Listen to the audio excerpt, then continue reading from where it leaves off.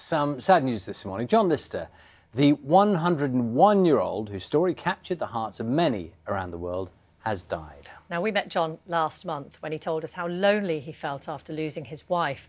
And his words moved, well, everyone who heard them and saw them, and led to the delivery of tens of thousands of Christmas cards, many of which you send. And thank you for that. Graham Satchell reports.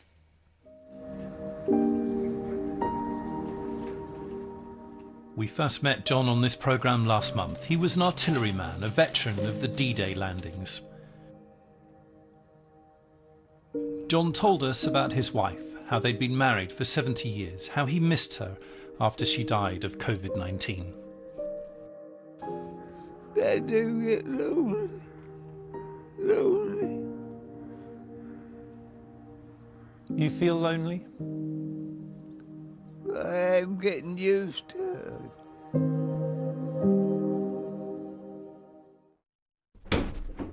The care home asked people to send John a Christmas card. They arrived from all over the country, all over the world, more than 15,000 in total. Hi, John. Good to. Dear John, we saw you on Breakfast TV and we thought we would send you a card to cheer you up. Christmas is a very difficult time for lots of people. Sending hugs. What do you think to all the cards that you've had, John? Oh, I'm just thank people, that's all I, all I do. Yeah. And that's enough, John. Just to see you smiling again, that's enough.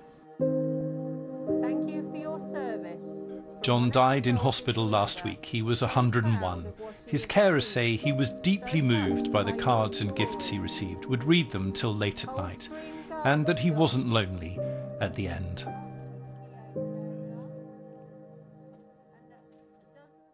It was a gorgeous story when it happened. The response was incredible from you. So, really, really sad to hear this news today. It's another one of those moments, isn't it, when uh, something, uh, a spotlight is put on a moment in time Mm. and people reacted in the most amazing way, which in itself will have lifted other people as Yes, well. exactly, so John yeah. will, you know, he will have affected other people too.